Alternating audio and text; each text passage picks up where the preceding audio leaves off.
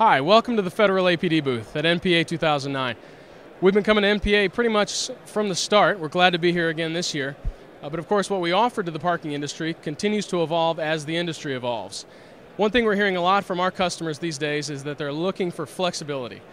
Uh, they want tools that help them design and run their business the way they want to meet the objectives that are most important to them. We refer to that as freedom for control. And we try to deliver it in a wide range of solutions.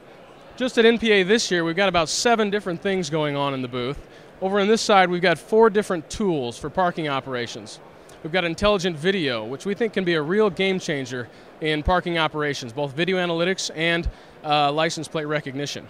We have our frequent parker program, Platform Rewards. We have a partner, Zip Park, that has an excellent event parking solution, including online reservations.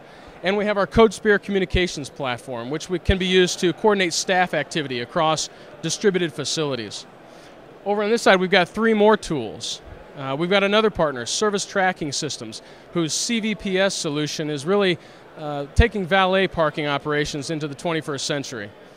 We've got um, training, of course, because we know training is critical to staff effectiveness. And so we continue to develop online training programs to get that content out past the classroom, to get it to more people in the industry.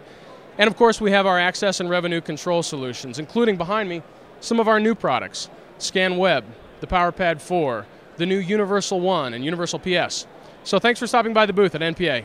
We look forward to working with you.